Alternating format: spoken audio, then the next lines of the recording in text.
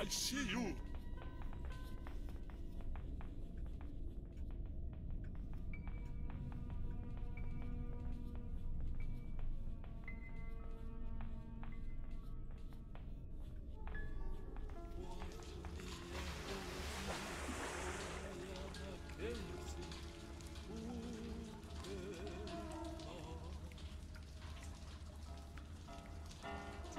to play hide and seek.